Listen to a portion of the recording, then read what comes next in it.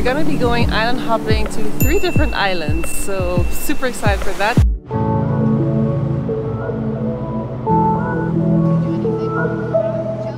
Port Barton is one of those places that has not been um, explored yet by a lot of tourists. And look at what mornings look like.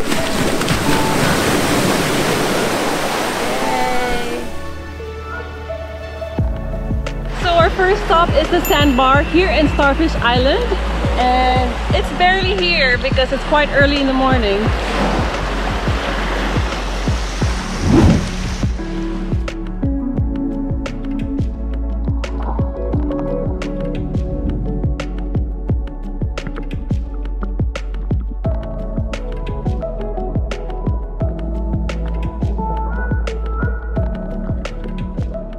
We just finished snorkeling in Twin Reef. The reef was so beautiful and now we are on our third spot which is Inaladelan. I literally had to stand by the sign because I wouldn't remember that.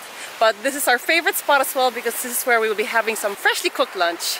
And they're just preparing it and we're just gonna have a bit of time, an hour and a half just to enjoy the view and just relax. It won't go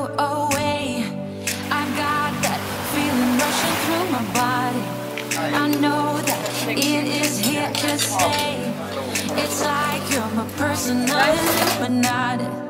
I know that some might say that I am just a bad girl, but if you treat me right, I will be the best girl in this whole world. No, I'm not gonna bite. I got my hands on your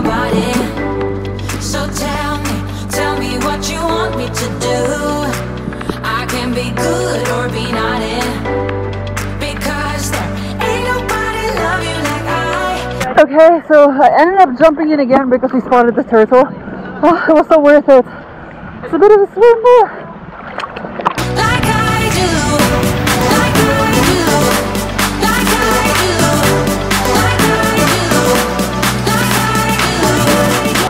So we've just docked on our fourth island and it's called Exotic Island and it's really really clear waters. It's amazing.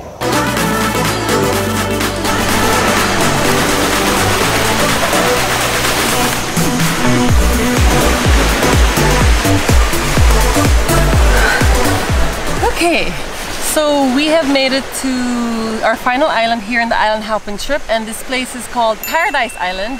So overall I think Port Barton is such a beautiful place if you want the peace and the quiet and if you want to go away from all the tourists because Port Barton isn't that well known compared to the other parts of Palawan such as El Nido, Puerto Princesa and Coron.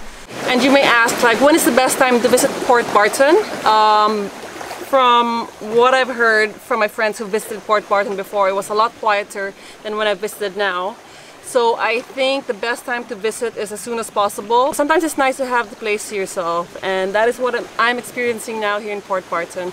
And if you guys want to come here, don't forget to check out Do You Travel Tours. They cover Puerto Princesa, Port Barton, El Nido, Siargao, Cebu, and many more.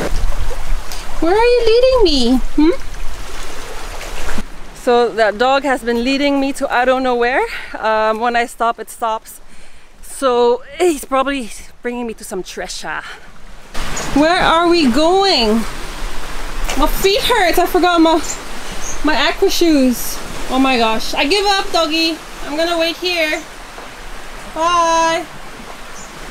All right, I give up. The treasure's too far. I might as well go back to the tour and then rest. So I gave up and then doggy gave up too. But anyway, maybe I'll find my treasure in El Nido. So I hope you guys can subscribe to our channel so you get updated when we upload our next videos and our adventures in El Nido, Cebu, and Siargao. Thanks for watching guys.